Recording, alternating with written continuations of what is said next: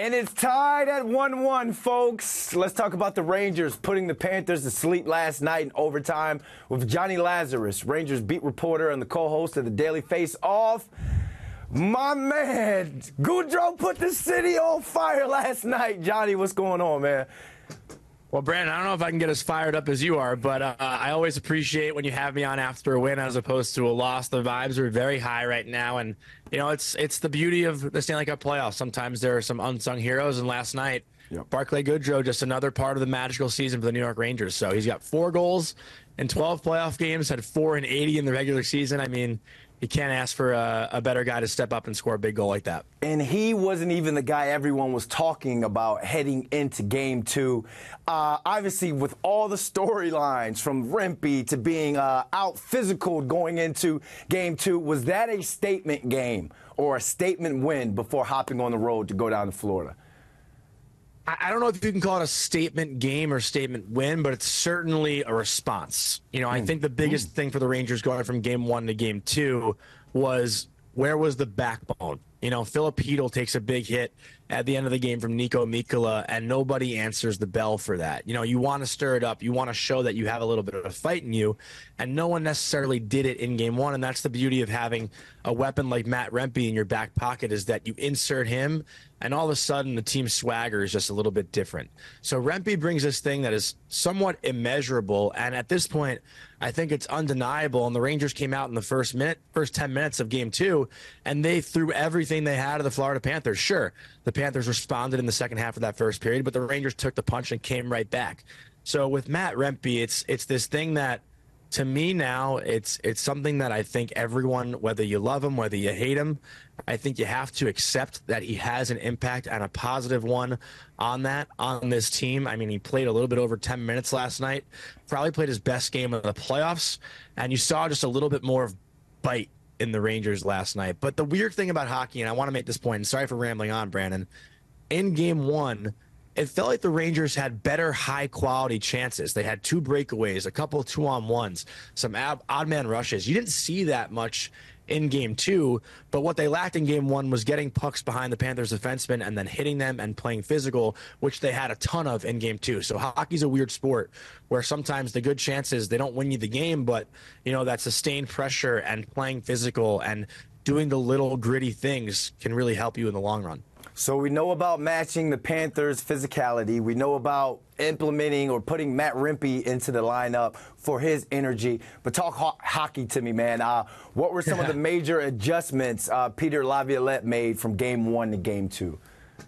Well, I think the biggest thing was staying connected in all three zones. The Rangers on their breakouts in game one, they turned the puck over a lot. And granted, they gave the puck away a little bit last night, too. It wasn't perfect. Mm-hmm. But I thought Jacob Trouba and K'Andre Miller had a much better game breaking the puck out. Uh, Adam Fox struggled a little bit when it came to that department. But the Rangers, again, they were connected in their game plan. They got pucks behind the Panthers defenseman, which is what Florida is so good at doing to New York.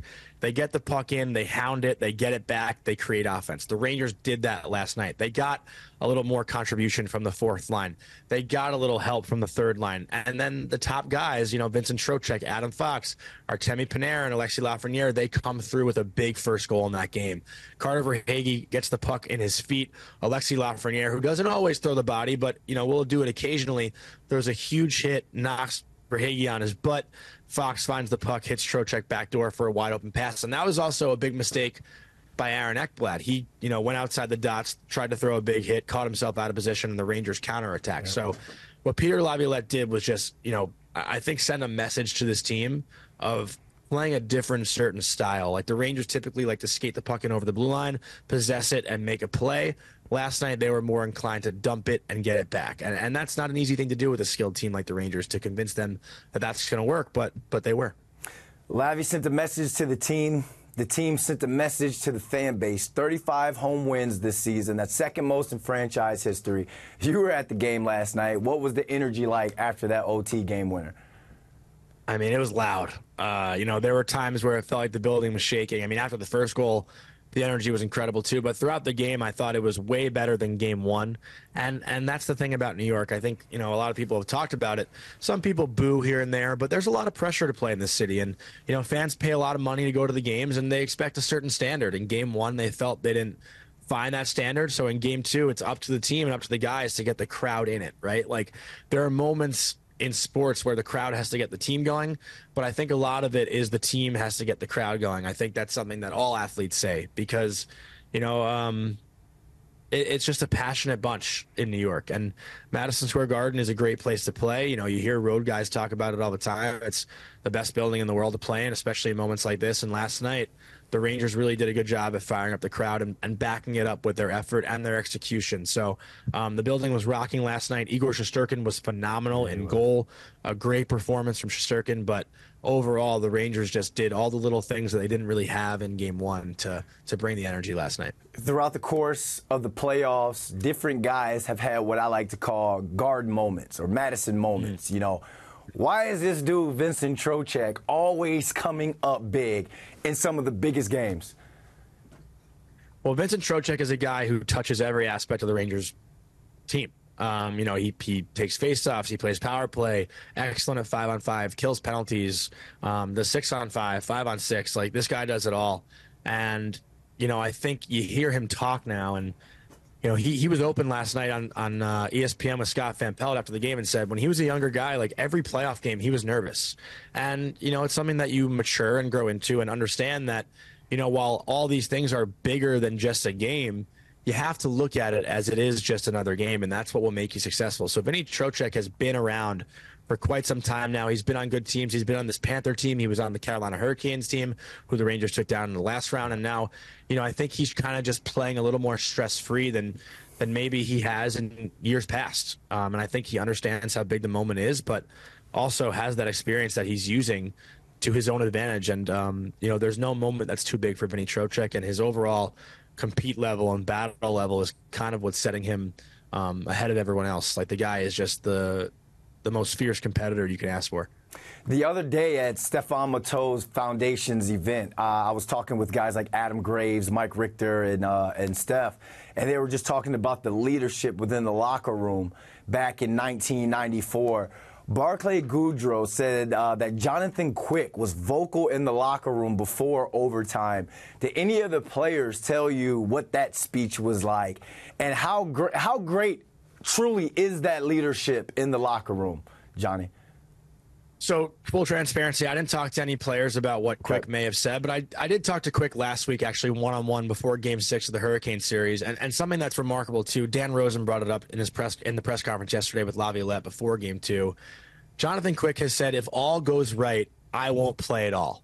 And and in what world is that an athlete's mentality, right? To put yeah. the team, you know, uh, you talk about it all the time players put the team ahead of themselves, but to hear an actual player say, if everything is good, I won't even see the ice. It's it's just incredible to see how well he understands, you know, what this situation is for the New York Rangers. And Jonathan Quick is a guy who last year was in a similar spot with the Vegas Golden Knights. Remember, he gets traded and he doesn't see any ice time in the playoffs, but his voice carries through a locker room when you have a guy who's won three Stanley Cups. You know, two of them he was the starting goaltender for in LA it's it's all about saying the right things in the big moments. And again, like I don't know what he said, but you know, I know prior to game six of the last round, Jonathan Quick told me it doesn't matter. He actually even dropped an F bomb. It doesn't effing matter uh, what happened in, in the previous two games. Whether we were down 3 0 and won two games or we were up 3 0 and lost two games, every situation, every day, every game is its own unique situation. And one play, one thing can impact a series in, in the biggest possible way. So uh, I'm sure you know, Jonathan Quick just said one play at a time, one shift at a time. Like, you know, those little cliches that you hear, but they're yeah. so real and like that. So having his voice and having his experience in the room uh, is huge. And, you know, another two time Stanley Cup winner and Barclay Goodrow is the one who scores the goal. Like I tell people, I've been in a, a Super Bowl winning locker room before. That we, not me mentality goes a long way, especially in the playoffs. Uh, you're you're all packed, ready to go down to Florida for games three and four. Just just quick overview. Uh, give us what you're thinking heading down to uh, Sunrise. Well, listen, I think uh, everything was worth the price of admission last night. You know, the hatred is a little bit there now in this series where we didn't see much of it in game one. You know, I expect Florida to come out a little bit heavier in game three because they're going to want to get their home fans obviously involved in the game. But knowing that there will be a lot of Ranger fans in that building, I'm, I'm very curious to see how this plays out because the energy is going to feel like you know, potentially a game at Nassau Coliseum in in the old days where it was kind of like a 50-50 split between fan bases. I mean, there are a lot of New York transplants down in Florida. So to me, this is not necessarily the road environment that we saw the Rangers play in Carolina, um, and I think they have to use that to their advantage. But Paul Maurice is also a very smart coach for the Florida Panthers and understands they had the last change. They had the matchups that they want. We saw Aleksander Barkov have a pretty dominant game last night um, against Zibanejad, so maybe Maurice has something up his sleeve to get Barkov out there against a different line. You never know.